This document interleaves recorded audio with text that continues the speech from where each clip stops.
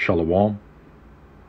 All praises, blessings, glories, and honors to Yahweh, Bahashem, Yahweh Shai, Bahashem, Racha, Kodash. Double honors to my elder apostles and bishop elders Great Millstone, who have taught me this truth, as well of men of like mind. Shalom wa chasad, which means peace and mercy to the elect of the nation of Israel, whom are you so called Negroes, Latinos, Native American Indians, and Israelite foreigners of the seed line of our forefathers, Abraham, Isaac, and Jacob, whom are scattered here in America, which is Babylon the Great, and abroad. To you I say Shalom, and Yahweh, Bahashem, Yahweh Shai, Ratazah. This lesson is edifying and informative. The inspiration for this show came from the fact that the Spirit has been having the elder apostles and bishop elders and elder brothers doing edifying shows on the destruction of America by way of thermonuclear missiles, which is according to biblical prophecy. And so, Abaratazah, this lesson is edifying. Isaiah chapter 54, verse 16. Behold, I, and the I is referring to the Heavenly Father Yahweh through his Son, our Lord and Savior, Yahweh Shai, have created the smith. Now, what is a smith? A smith is a worker in metal. Treat metal by heating, hammering, and forging it. Other definitions include from the dictionary.com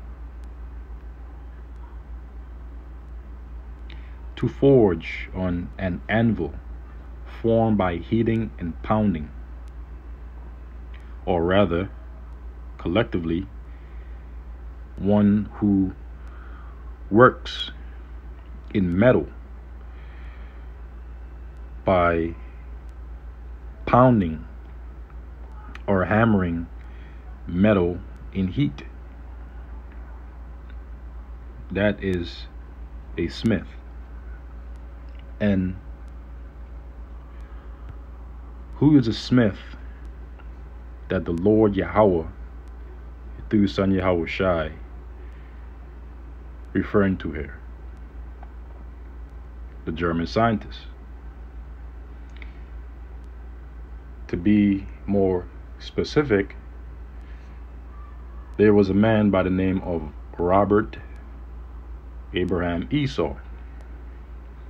And Robert Abraham Esau was known as the father of the Uranian Club,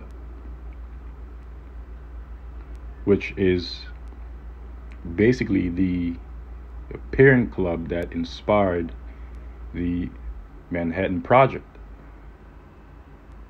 which was based upon the development of the little man or little boy and fat man nuclear well not nuclear but atomic bombs rather excuse me that were dropped upon Hiroshima and Nagasaki during World War II. And so mainly the Smith is referring to the nuclear scientists, and particularly the Germans, which are renowned for their engineering. In fact, the Germans are known, according to the scriptures, as the wise men of Teman. The Temanites are Edomites. Okay? Now let's read up a little bit on Abraham Esau, who was a German physicist. He was born on June 7th, 1884, and he had died on May 12th, 1955.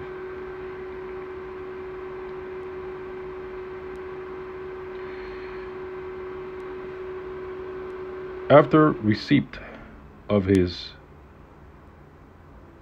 doctorate from the University of Berlin, Esau worked at Telefunken, where he pioneered very high frequency VF or VHF rather, excuse me, waves used in radar, radio, and television, and he was president of the Deutscher Telefunken Verband. During World War One, he was a prisoner of war of the French. He was repatriated to Germany in 1919. In 1925, he was appointed professor at the University of Jena, where he also served as rector. From 1933, Esau was the state council in Thuringia, if I pronounce that correctly. From 1937, Esau was heard, excuse me, was head of the physics section of the newly created Reich Research Council, RFR. From 1939, he was a professor at the University of Berlin and president of the Reich Physical and Technical Institute. From his position in the RFR, he initiated the first meeting of the Uranian Club in early 1939. And so Abraham Esau was the founder of the Uranian Club. It reads on to say, the precursor to the Army Ordnance Office, HWA, German Nuclear Energy Project, that is the Uranium Club, which began in September of that year. And the HWA gave control of the project to the RFR in 1942 Esau became the plenipotentiary, which a plenipotentiary, or just simply a diplomat, is a person, especially a diplomat, invested with the full power of independent action on behalf of their government, typically in a foreign country, having full power to take independent action of power, absolute. So he became the absolute power of nuclear physics and was in control of the project. In 1944, Esau became the plenipotentiary of the High Frequency Engineering and Radar Working Group. During World War II, Esau was one of the most powerful physicists in Germany. So he was one of the most powerful physicists in Germany, along with other contemporaries such as Einstein, so on and so forth. After World War II until 1948, Esau was a prisoner of war of the Dutch. From 1949, Esau was a visiting professor of shortwave technology at the RWTH, H, excuse me, Aachen. From 1953, he was also head the Institute of High Frequency Engineering of the German Aeronautical Research Institute. To expound further on the Uranian Club, it states that from this position in the RFR, he would play, he as in Robert Abraham Esau, would play major roles in the German nuclear energy project, sometimes also referred to as the Uran Verein or the Uranian Club.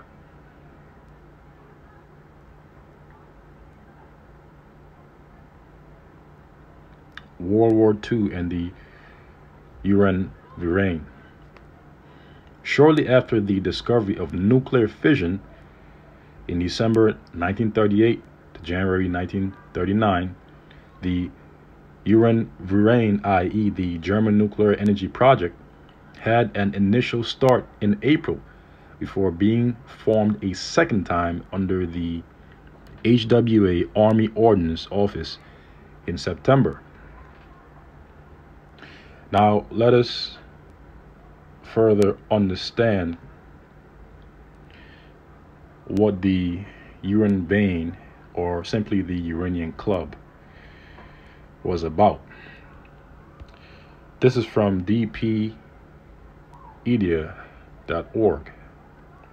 about German nuclear weapons program. The Uran vein, Verein, excuse me, or just simply the Uranium Club, or the Uranium Project, Uran Project, was a name given to the project in Germany to research nuclear technology. And this had paved the way for the Manhattan Project, which again was a project that was based upon the development of the Little Boy and Fat Man atomic bombs, which then later gave way to nuclear warheads. With the first one being the, the Tsar Bomba that was created by the Soviet Union, which we'll get into all that, Lord's ruling, as we uh, go on in the lesson. And the design of the first nuclear warhead was inspired after the design of two scientists and collectively this design became known as the Teller Ulam design, which is basically a design of a bomb within a bomb within a bomb, where you had a warhead that detonates after the chain reactions of both fusion and fission. And we'll get into all that abaratazah. Because the scripture says that the element shall melt with fervent heat.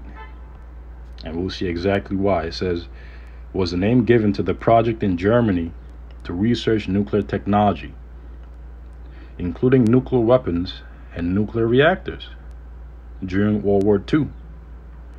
It went through several phases of work, but in the words of historian Mark Walker, it was ultimately frozen at the laboratory level with the modest goal to build a nuclear reactor which could sustain a nuclear fission chain reaction for a significant amount of time and to achieve the complete separation of at least tiny amount of the uranium isotope which they were able to achieve pardon me through the Manhattan Project. The scholarly census is that it failed to achieve these goals and that despite fears at the time the Germans had never been close to producing nuclear weapons. And this is why, this is why you had all these different uh, prestigious scientists from around the world, and particularly Einstein, that had came together with others to develop the first two atomic warheads, Fat Man and Little Boy, that were then uh, subsequently dropped upon Hiroshima and Nagasaki during World War II. And so now we have gained the knowledge and understanding through the spirit and power of Yahweh Bahashim Yahushai, who has allowed us to understand who Robert Abraham Esau was and what the Uranium Club or the Uranium Project that he had founded was and how it had basically led to the Manhattan Project. So again, this is Isaiah chapter 54, verse 16. So now we know what the smith is. Again, it says, Behold, I have created the smith, which again, the smith represents the nuclear scientist, but in particular, the German nuclear scientist. And to go even further, Robert Abraham Esau, who was the pioneer of the Uranium Club. that bloweth the coals in the fire, and that bringeth forth an instrument for his work. And what is that instrument? What we see today. That are known as the intercontinental ballistic nuclear warheads or missiles. And I've created the waster to destroy, which are the nuclear missiles. And according to Jeremiah chapter 50, verse 25, these are the weapons of the Lord's indignation. Now, we're reading Isaiah chapter 54, verse 16 in the CSB and in NLT. In the CSB, it reads, Look, I have created the craftsman who blows on the charcoal fire and produces a weapon suitable for its task. And what weapon, again, is that referring to? That will be utilized as a suitable weapon for the Lord's indignation, in which he will use, according to biblical prophecy, to destroy the land of the Chaldeans, which is America, Babylon the Great, the nuclear missiles. Okay? It says, And I have created the destroyer to cause havoc. And in the NLT, it says, I have created the blacksmith who fans the coals beneath the forge and makes the weapons of destruction. Oh, I love this. And I've created the armies that destroy. So the Lord have created that army, which are the armies of the nuclear missiles. And we can read about those in the book of Joel, the second chapter, that mentions the armies that the Lord will use to destroy this land, America, Babylon the Great, which he referred to as the land of unwalled villages in the book of Ezekiel, the 38th chapter, that dwelleth carelessly. Now, before we move on to the next few scriptures, earlier I'd mentioned the inspiration that led to the development of the first nuclear warhead, which was the Tsar Bomba that had been developed by the Soviet Union, which, according to uh, past data, the warhead was said to contain a maximum yield of 101 megatons of TNT and because of this sheer destructive force, they had to cut it in half. Nonetheless, it was still powerful enough to send shockwaves across various parts of the world. And the equivalent of the Tsar Bomba today would be the Satan II ICBM that is possessed by the Russians. Now, this is from blog a nuclearsecrecy.com in search of a bigger boom.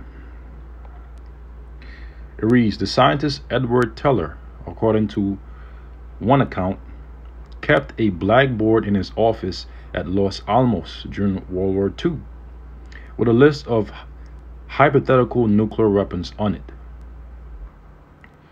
The last item on his list was the largest one he could imagine and the Lord had later on given these devils the knowledge and the understanding to create said largest one that Edward Teller had imagined. The method of delivery, weapon design, or jargon for how you get your bomb from here to there, the target, was listed as a backyard. As a scientist who related this Antidote explained, since that particular design would probably kill everyone on Earth, there was no use carting it anywhere. Teller was an inventive, creative person when it came to imagining new and previously unheard of weapons. Not all of his ideas panned out, of course, but he rarely let that stop his enthusiasm for them. He was seemingly always in search of a bigger bomb. Hmm. During the Manhattan Project, and this is where things get very interesting, brothers and sisters. And Abaratazai, I pray that, you know, you brothers and few sisters have been following along thus far. It says he quickly tried, I guess they had meant to say tried, but nonetheless, it says he quickly tired of working on the regular atomic bomb, or basically, he got quickly tired of working on the regular atomic bomb. It says it just seemed too easy. A problem for engineering, not physics. From as early as 1942, he became obsessed with the idea of a super bomb, the hydrogen bomb. Another name for the hydrogen bomb is the nuclear bomb, a weapon of theoretically endless power. One side effect of this at Los Alamos is that Teller passed much of his assigned work on the atomic bomb off to a subordinate, Klaus Fuchs, if I pronounce his last name correctly. It took over a decade for the hydrogen bomb to come into existence. A decade is 10 years. The reason for the delay were technical as well as interpersonal. In short, though, Teller's initial plan, a bomb where you could just ignite, pardon me, an arbitrary long candle of fusion fuel wouldn't work, but it was hard to show that it wouldn't work. Shortly after abandoning that idea more or less completely, Teller with the spur from Stan Ulam. And this is where the Ulam or the Teller Ulam design comes into light. Came up with a new design, the Teller Ulam design. Okay, so it says the Teller Ulam design allows you to link bombs to bombs to bombs. John Wheeler apparently dubbed this a sausage model because of all the links. Ted Taylor recounted that from very early on, it was clear you could have theoretically an infinite number. This is why they're able to create nuclear missiles with multiple warheads at the top. And these are known as MIRV warheads, M I R V, if I remember correctly. A brother can fact check that and leave it in the uh, description of this lesson. MIRV or MARV, multiple reentry uh, something something. I forgot the uh, acronym for it. Anyhow, it reads on to say again, Ted Taylor recounted that from very early on it was clear you could have theoretically an infinite number of sub bombs. Sub means under connected to make one giant bomb. And here we have a depiction. A few selected frames from Chuck Hansen's, pardon me, diagram about multi or multi-stage hydrogen bombs from his U.S. nuclear weapons. A secret history drawn by Mike Wagon. And at the top the top compartment, the primary stage, that's where the phenomenon of fusion occurs. And then below that is where fission occurs. Okay? I'll, Lord's willing, later show some more examples of this. it says the largest nuclear bomb ever detonated as the so-called Tsar Bomba of the Soviet Union. See that? On 1961, it was exploded off the island of Novaya Zemlya, well within the Arctic Circle. It had an explosive equivalent to 50 million tons of TNT or 50 megatons of TNT. It was only detonated at half power, see? The full-sized version would have been 100 megatons. It is thought to have been a three-stage bomb. By contrast, The largest U.S. bomb ever detonated was the Castle Bravo, tested in 1954, with 50 megatons yield. It was apparently only a two stage bomb. Here we have depictions of the Tsar bomb being dropped in 1961, also known as an H bomb or just simply a nuclear bomb.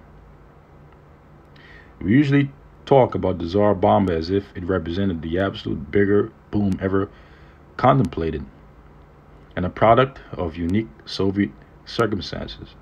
We also talk about as if its giant size was completely impractical. Both of these notions are somewhat misleading. It says the initial estimate for the explosive force, excuse me, of the super bomb being contemplated during World War II was only equivalent to 100 megatons of TNT, as James Conant wrote at Van Nevar Bush in 1944. It seemed that the possible or the possibility rather, excuse me, of inciting a thermonuclear reaction involving heavy hydrogen is somewhat less now than appeared at first sight two years ago. I had an hour's talk on this subject by the leading theoretical man at Los Alamos. The most hopeful procedure is to use tritium, the radioactive isotope of hydrogen made in a pile, as a sort of booster in the reaction. The fizzle bomb being used as the detonator and the reaction involving the atoms of liquid deuterium being the primary explosive. Such a gadget should produce an explosive equivalent to 100 million tons of TNT. Teller was aiming for a Tsar Bomba from the very beginning. Whether they would have supported dropping such a bomb on Hiroshima were it available is something worth contemplating. Both the US and USSR looked into designing 100 megaton warheads that would fit onto ICBMs. The fact that the Tsar Bomba was so large doesn't mean that such a design had to be so large, or that being large necessarily would keep it from being part, excuse me, being put on the tip of a giant missile. Neither went forward with these. And the point has already been read, so what I'll do is I'll leave the blog or the link to this blog in the description box of the lesson. So now we have gotten more insight and understanding of what inspired or what led to the creation of hydrogen or simply thermonuclear uh, bombs or missiles that we see today. It was through uh, the breakthrough of the Teller Ulam design, okay, through the spirit and power Yahweh Bashim Shai, the Wadi Yahweh Bashim Shai for allowing us to understand and uh, gain the knowledge of this, okay. So now let's go back to the scriptures. This is the book of Revelation because the Lord, well, before I go to Revelation, let's get Jeremiah chapter 50, verse 25. This is Jeremiah chapter 50, verse 25. It says, The Lord Yahweh hath opened his armory. And what is an armory? Let's find out what an armory is.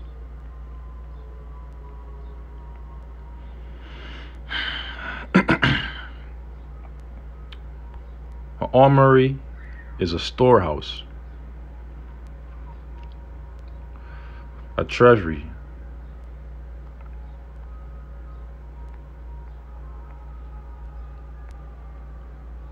The conventional definition reads arsenal, arms the depot, arms cache,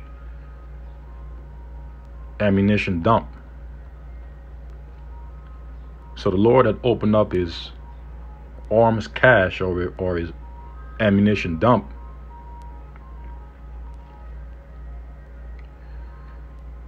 And had brought forth the weapons of his indignation, which are the ICBM nuclear missiles. The word indignation means righteous anger. And the weapons of our Lord's righteous anger are the weapons in which he had put upon the smiths of Esau Edom to create, which are the nuclear scientists, and particularly the, German nuclear scientists, so that he may later on use it as his instrument to destroy America, Babylon the Great, according to biblical prophecy. For this is the work of the Lord Yahweh of hosts, which is Yahweh of armies, in the land of the Chaldeans. And what is the modern day land of the Chaldeans prophetically? America, Babylon the Great. And the Lord will utilize these weapons during the third world's woe, which cometh quickly. And it will come after the mark of the beast has been mandated globally, which the mark of the beast is the RFID microchip, also known as the NFC chip implant in Europe, also known as the biochip. The word bio means alive or living, also known as the brain chip implant. And so this is the book of Revelation, chapter 11, verse 14. The second woe is past, so War II has passed. And behold, the third woe cometh quickly. And the third woe that cometh quickly is World War III. And that is why the Lord has been putting it upon the spirits of these different leaders of these different nations, their uh, generals, their mighty men, to prepare for war by beating their plowshares into swords and their punna hooks into spears.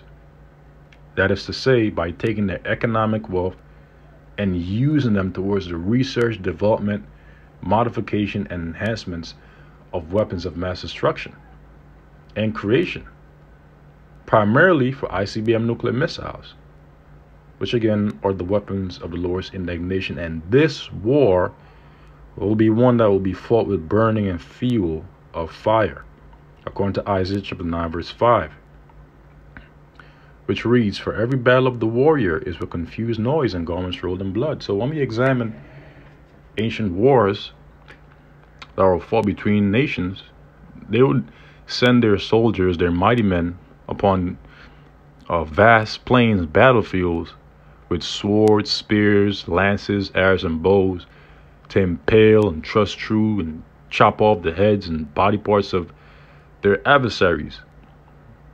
But this war, that is the Thor's war, which comes quickly, will be a war that will be fought with burning and fuel of fire. As it will state here, it says, For every battle of the warriors will confuse noise and garments rolled in blood. But this, that is the Thor's woe, shall be with burning and fuel of fire. Right, so it's going to be a war of burn, burning and fuel of fire. Isaiah chapter 9, verse 19. Through the wrath, through the indignation of the Lord Yahweh of hosts, is the land darkened. What land? America, Babylon the Great, according to biblical prophecy. And the people shall be as the fuel of the fire, because the day cometh that shall burn as an oven, and all the proud, yea, and all that do wickedly shall be stubble and the day that cometh shall burn them up, save the Lord Yahweh of hosts, that it shall leave neither root nor branch. According to Malachi chapter 1, verse 4. Excuse me, 4 verse 1. Pardon me. All right? No man shall spare his brother, and that will be shown during the time of Jacob's trouble. See, the scripture jumps back and forth. Now, let's go to the book of Job, the 20th chapter, because remember, it states in verse 5 that this war will be fought with burning and fuel of fire. What's going to cause that? Again, the nuclear missiles. But how will they spark? How will they detonate? Let's find out. This is the book of Job, chapter 20. Pardon me. verse 20. I'll start at 24. It says, He, which is referring to the elites of Esau, Edom, shall flee from the iron weapon, which are the nuclear missiles. And the bow of steel, which are the nuclear warheads, shall strike him through. It is drawn, drawn from where? The nuclear silos, and coming out of the body, which are the nuclear silos. Yea, the glittering sword coming out of his gall. Right, just like a sword would, would be drawn out of its sheath by a warrior, so will the ICBM nuclear missiles, which are likened unto swords, be drawn out of their bodies or nuclear uh, silos. The glittering sword, just like in the movie, the, the, the warrior takes out the sword, he holds it up into the air, and the sun uh, beams upon it and causing it to glitter. That's how it's going to look once those nuclear missiles leave those nuclear silos. The engine that propels them from one continent to the next, the fire that they generate that causes them to go from one continent to the next, is going to make it seem like a glittering sword coming out of his gall. Terrors are upon him. All darkness shall be hid in the secret places. And this is the point. A fire not blown shall consume him. And that is how the nuclear missiles are going to detonate. They're going to be detonating through their fire not being blown. But what does that really mean? Well, we'll find out through the spirit and power of Yahweh Bashimi Shai shortly, Lord's willing, after we finish reading the scripture. It shall go ill with him that is left in his tabernacle. Now, how does a nuclear missile detonate? How does a fire get generated? Now, typically, a fire is generated through what is known as a fire triangle, where it requires air, oxygen, and fuel, or fuel, oxygen, and heat. All right, and this is known as a fire triangle, but a fire not blown is going to consume this man's kingdom. Because that's how the nuclear missiles are going to detonate. They're going to detonate through what is known as the chain reactions of fusion and fission. Fission is, is a splitting of large atoms into two or more smaller ones. And fusion is the joining of two or more lighter atoms into a larger one. And when we look at nuclear fission, in contrast to nuclear fusion, we clearly see this in the depictions uh, below. Now, this image here from energy release was uh, from an engineering course I'd taken a couple years ago called uh, Properties of Material, where you know we studied uh, heat transfer and these sorts of stuff. Now, the heat that is generated by the chain reaction of fission is approximately 1000 degrees Kelvin, which is the same in degrees Celsius. Okay, think of 1000 degrees Kelvin as a thousand degrees Celsius, right? And that's the the temperature or the heat that is generated through fission by fission. Now, fusion generates about 100 million degrees Kelvin, which is, the same in degrees Celsius, right? And a modern nuclear warhead detonates through fusion and fission, even as seen here in the depictions below. We have a uranium bomb as a you know, a, uh, uh, uh, little boy, and then you had a plutonium bomb as Fat Man, right? And then you have a hydrogen bomb, which is an example of a modern nuclear warhead, where you have at the top, um, well, actually, the top uh, is, is is is is fission, and the bottom is where the fusion occurs. I actually had it backwards. Lock it for that. All right. Nonetheless, it's uh, two chain reactions that occur uh, simultaneously. The first stage is where you have the splitting of the atoms or the uh, atoms, okay, for hydrogen bomb. And then the second stage is where uh, fusion occurs, as we can see here in the depictions. Okay? And remember, keep in mind that the heat that is generated by fusion is about 100 million degrees Kelvin or degrees Celsius.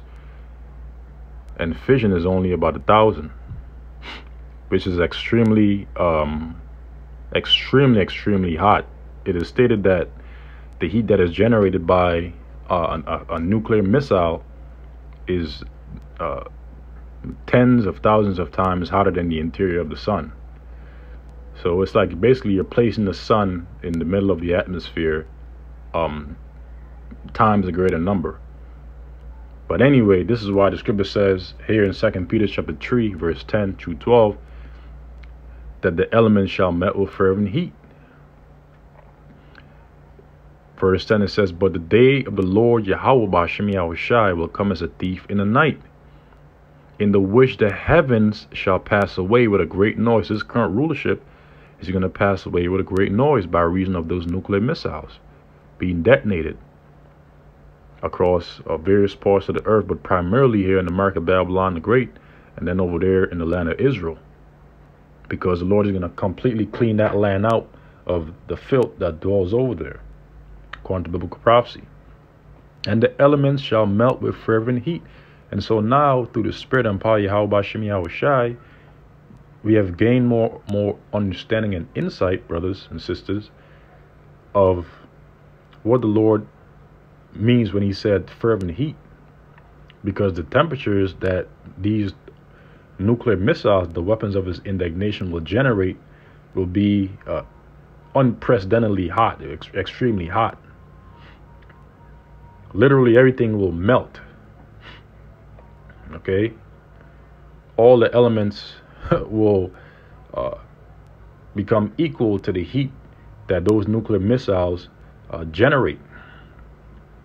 And that's known as equilibrium. It says, The earth also and the works that are therein shall be burned up. Seeing then that all these things shall be dissolved, what manner of persons are ye to be in all holy conversations and godliness? And we ought to be in fear of Yahweh Bashem exceedingly, because the Lord is about to bring some serious judgment, man. We don't want to be down here when the Lord brings, uh, you know, the nuclear destruction. Because, you know, the Lord, through the Holy Spirit, is showing us why, you know, we won't want to be down here. I mean, come on, man. 100 million degrees uh, Celsius? and then on top of that, you, you have a, an additional uh, thousand, and that varies based upon the yield of the warhead. So that times two hundred thousand thousand, that's man, that's that's some that's some extreme indignation. So we pray that the Lord deliver us from you know the destruction to come.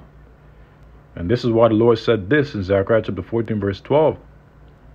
And this shall be the plague wherewith the Lord Yahweh will smite all the people that have fought against Jerusalem. Their flesh shall consume away while they stand upon their feet. Literally. And their eyes shall consume away in their holes. Literally. And also figuratively, their hopes for the future.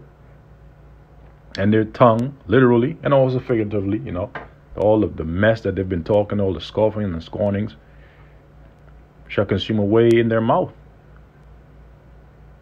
Psalm chapter 21, verse 9 Thou shalt make them as a fiery oven in the time of thine anger.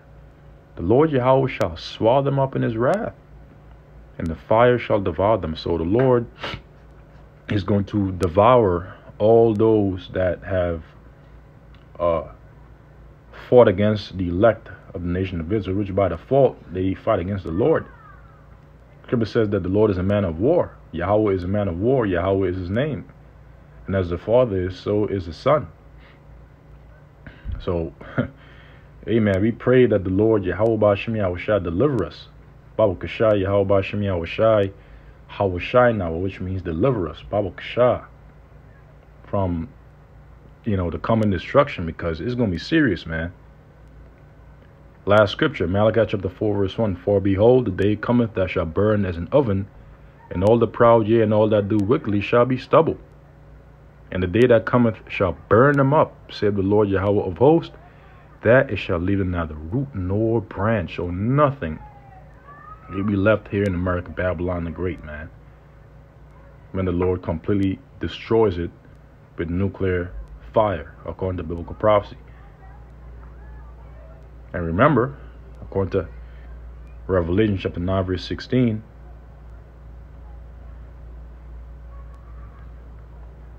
and the number of the army of the horsemen were two hundred thousand thousand, and I heard the number of them. So the number of the army of the horsemen that the Lord will have in battle array to invade the land of America, Babylon Great, which are the ICBM nuclear missiles, will be two hundred thousand thousand, two hundred million intercontinental ballistic nuclear warheads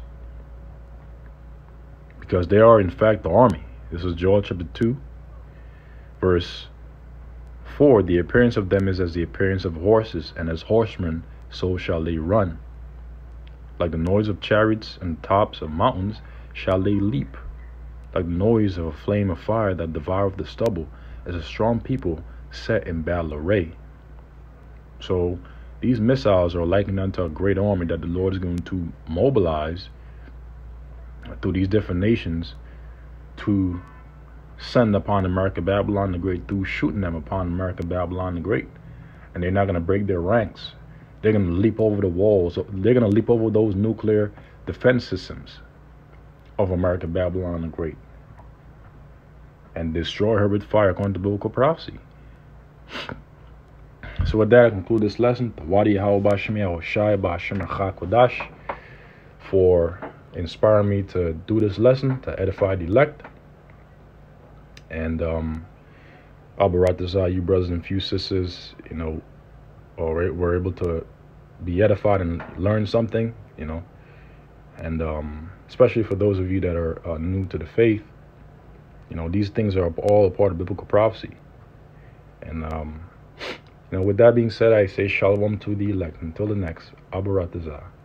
Shalom.